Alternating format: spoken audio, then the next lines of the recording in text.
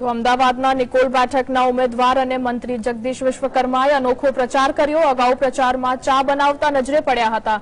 ત્યારે હવે ડાયમંડ માર્કેટમાં હીરા ઘસતા નજરે પડ્યા છે. કારીગરો સાથે હીરા ઘસીને જગદીશ વિશ્વકર્માએ પ્રચાર પ્રસાર કર્યો હતો. હીરા ઘસી ટેબલ પર હીરાથી બીજેપી લખી જગદીશ વિશ્વકર્માએ અનોખો પ્રચાર કર્યો તો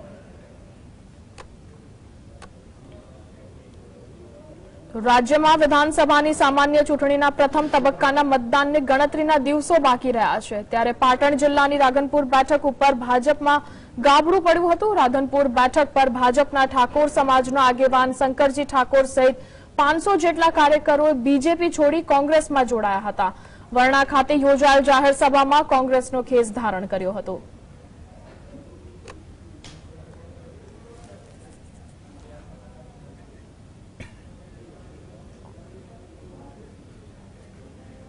નર્મદા જિલ્લામાં અમુક અમુક મતદાન મથકો એટલા દુર્ગમ જગ્યા પર આવેલા છે કે ત્યાં પહોંચવા માટે મતદારોને ભારે મુશ્કેલીઓ વેઠવી પડે છે.